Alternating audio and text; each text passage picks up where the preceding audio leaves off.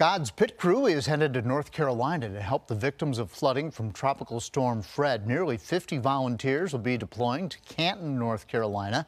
Saturday morning, they'll be helping to assist families clean up from that horrific flooding we've been showing you. They'll be helping to drain homes that are filled with water. They'll make housing repairs and they'll also work on mold removal from the waterlogged homes. Uh, organizers say there are hundreds of families who've been affected. So there's hundreds of people in the same in the same boat. But uh, the Lord's given us some favor, and we know what to do in these situations. So we're excited to go help and let people know that hope's on the way. Volunteers are set to be in North Carolina for two weeks, but they'll stay longer if needed.